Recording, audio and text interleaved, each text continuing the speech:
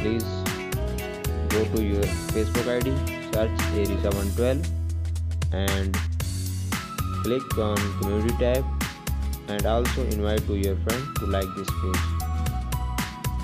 Okay thank you.